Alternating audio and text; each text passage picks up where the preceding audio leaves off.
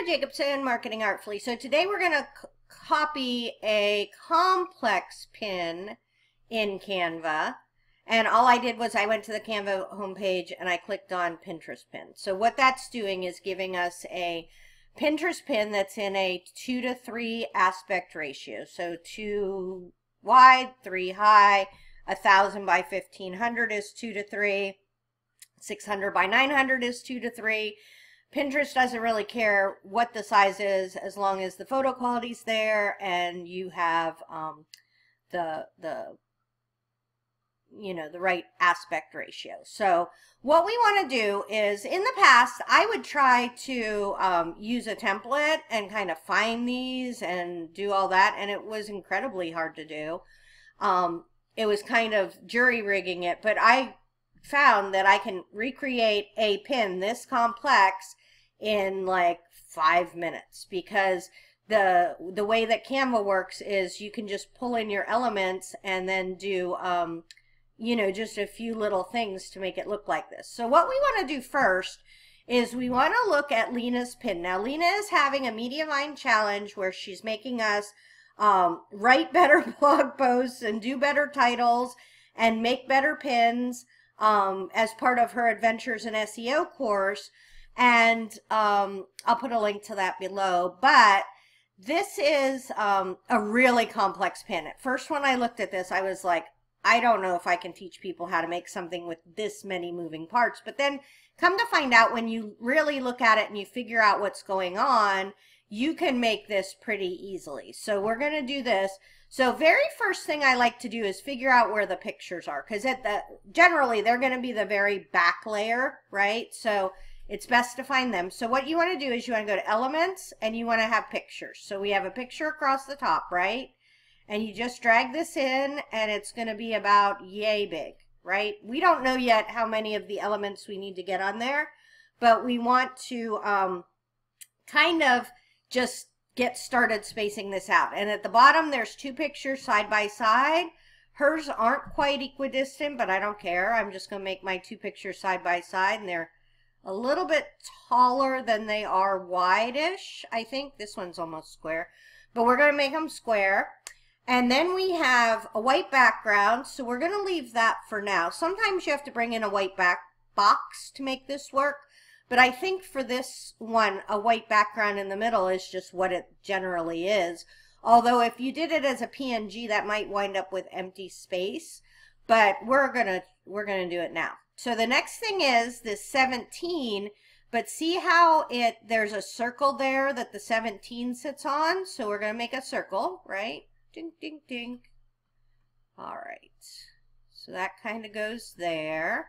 And now we need to make our circle white. We'll make our circle white. There she is. So she's covering part of this um, this up here. Now I'm covering a lot more of, of the picture, so maybe we need to make our circle a little bit smaller. And then that's all we have. Lena has her logo here, but um, we're not going to do a logo. We're just going to put um, the website at the bottom. So now that's all the elements that are not text. So next we need to do text. So we're going to pull a text box in. And the very first thing we're going to do is this kind of scripty, scribbly font. So we're going to say adjective, right? Because what we're doing here is we're making a template for ourselves. So we're going to have um, like an adjective, top, best, easy, you know, something like that. But we need it to be that scripty font. So we're going to look for, the nice thing about scripts are you can type script and just, it'll pull in all the scripts. So I don't want, dancing script looks very fancy. Um, that looks a little harsh for this. Oh, a brush script. That looks a little too... What about playlist? Let's try that. Oh, that's cute. It's not quite as um since we're since we're um copying Lena, we're not going to be able to get it exactly the way she has. She may have um you know, uploaded her own script fonts and things like that. And we may need to make this top word a little smaller. Even though adjective is a long word, it looked like it was kind of taking over the picture. And then we want to copy this, right? So copy, because we have that most profitable. So we have another adjective, right, over here at the top. Um, we're going to just put that, leave that right there. And then we have, oh, we have this gray box, so we need to go back to elements and get, get, us, get us a box, and it just pulls in a gray box, so life is good. And we're going to do this, dink, dink, dink. And then this is the same font, so you're kind of reverse engineering everything and going, there's, while this looks like a crazy pen, there's not all that much going on with it. So now we have to copy it, copy this, we're going to put that in there and we need it to be white. And that's a call to action. So call to action, right? Um, okay, so now we just have this uh, kind of plain uppercase, uppercase text. So we're going to come here, add a text box, and we're going to make it bigger, right? Big word. Oh, and we need it to be caps big word. My box isn't wide enough. Oh, somehow it got sideways. So, I love that this happened. What do you do when, when something goes wrong? You delete it. You just add another text box. Big word. Never get freaked out. I mean, seriously, it, it's marketing. There are no marketing emergencies. All right, so we got our big word. And that's okay. I think that uh, I've been working on this before to make sure I knew how to do it. And I think that that's okay. Hers is maybe a little bolder. Let's see if we can bold it. It didn't really bold. I mean, I don't think it got that much, um, you know, that much uh, heavier in the lines of the font. So it took my whole big word away. You'll get better at this. I'll get better at this. I use, um, uh, well, I, up until now, I've used Photoshop, but now that I've been messing around with this for you guys, I feel like having these templates and next month my goal is to make two blog posts or two pins a day for a month for my um old post so i'm feeling i'm feeling it. I'm feeling doing it in this rather than in photoshop. Um okay here's anton. Oh that's better but it's not kind of see how these are kind of wide and this is kind of tall and bold? Let's see if we can find something a little bit rounder. That um, let's try it. That's not bad. We can live with that. Okay there we go. Big word. And now we have our number. And uh, add a text box. Right?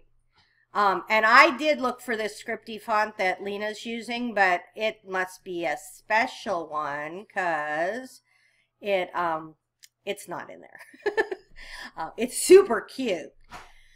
So there we go. We got all, oh, we got to make this a bolder. Um, we need just a bold serif. So remember we said the other ones are non-serif with no feet on the bottom? These are serif fonts. So we have to find something that has serifs at the bottom. So there's the slab.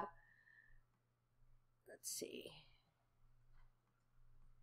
That would work perfect. Right? So that would be cute up there. And then this is pink. Pink, pink. That's my pink. So this looks more like Lena's pink. Oh, and she has uh, this underlined. So let's do that. So we need elements, right? And down at the bottom is line. So we want a line. And we want to make it pink.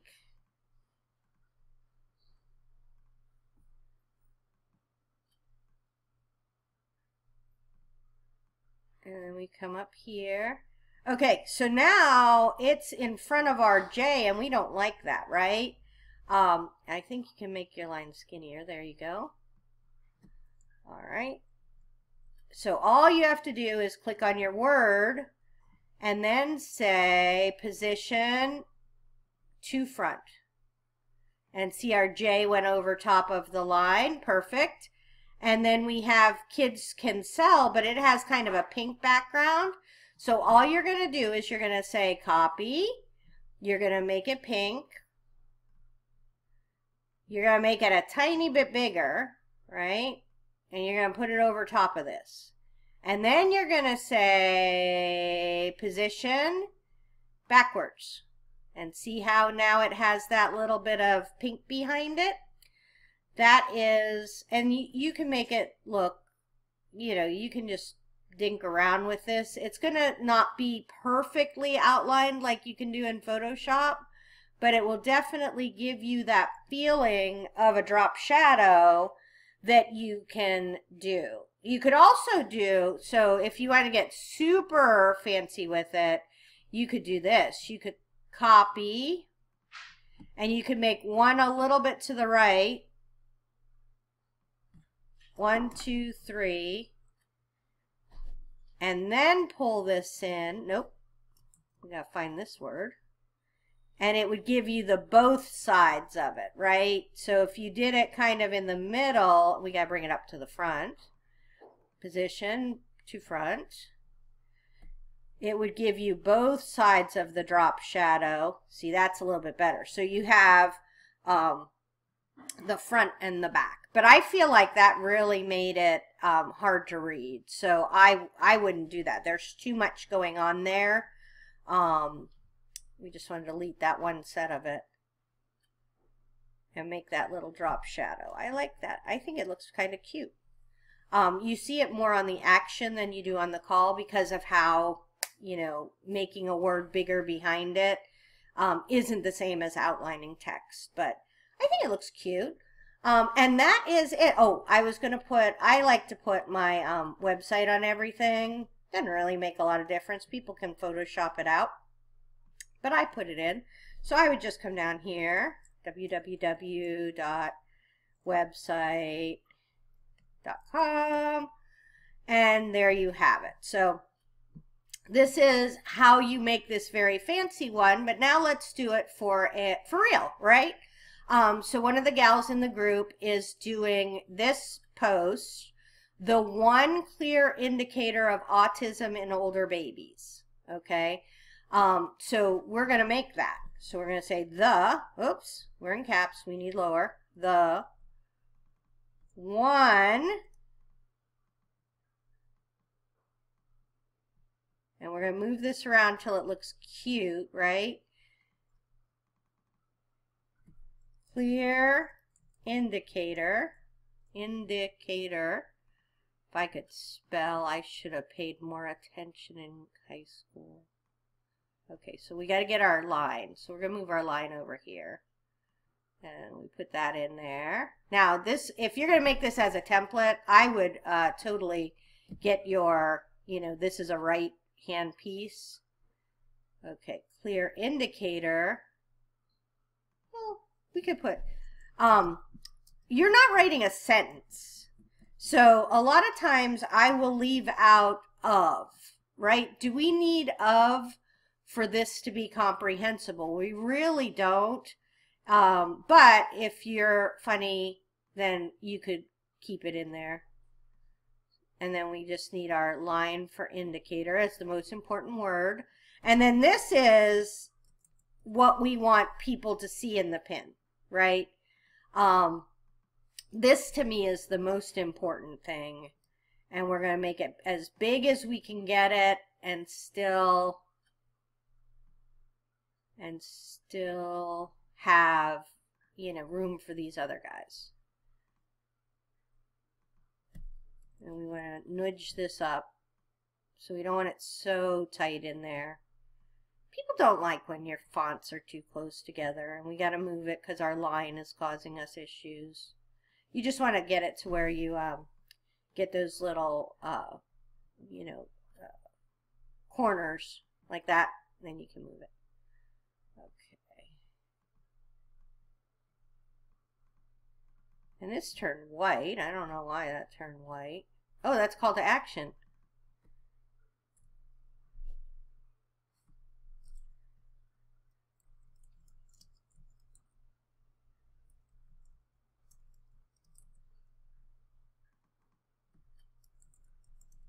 Okay. Whew. That was a close one. All right, got that. Oh, there's where it went. So we want to delete the second one, right? Indicator. Indicator. I-N-D-I-C-A-T-O-R. Well, it's spelled correctly. Of autism in older babies. Now, Lena had pink on um, on gray. I'm going to wait and see what color our pictures are before I um, I really try to do this. Now, her branding is very pink like this, so we want to see, this is the website that um, that we're doing. So hers is more teal and and burgundy. So we're gonna um, okay, there we go. So we're going to just right off the bat make this more burgundy. Right?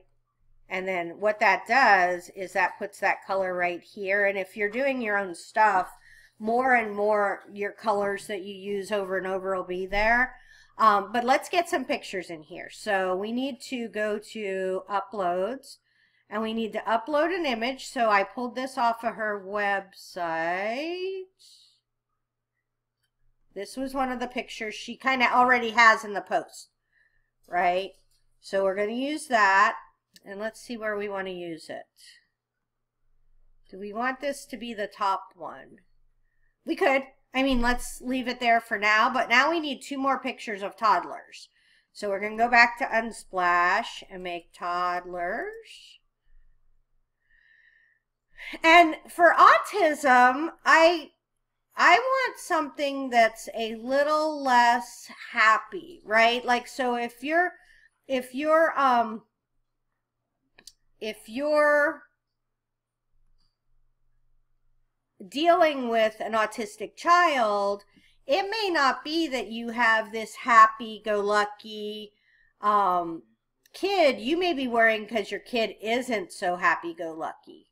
Um, so let's see if we can find another toddler that isn't quite so happy. Oh, that could be good. Look at this.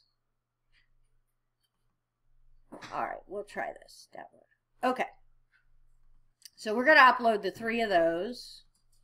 And you can do this by click shift and then you can upload them all at once, right? Then you don't have to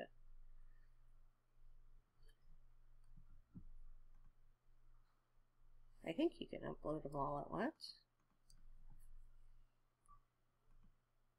Maybe not.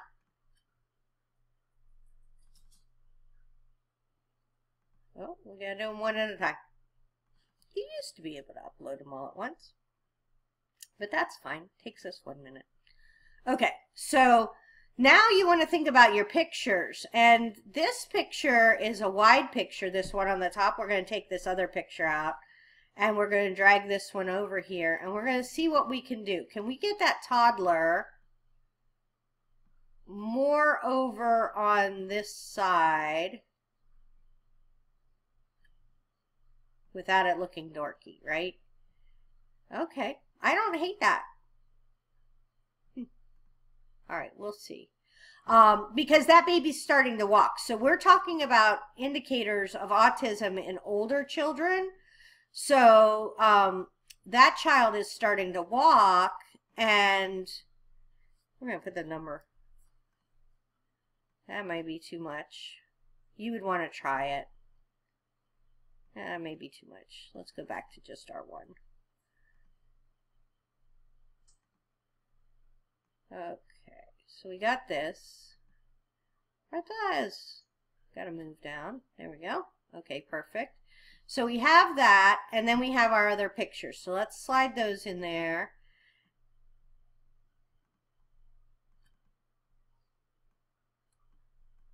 So they're both pictures of kids kind of turned away from you. Maybe not as responsive, maybe having a little bit of fit. These babies might even be a little bit too big, too grown up. Um, but then all you have to do is you have to say, I, see, I don't like how this is now. I would say either um, match a color in here or match her um, her branding, which is more of this kind of like teal, and then make this white, right? White. So that is her pin. Oh, and then we have her website down here. And her website is Corey at Home.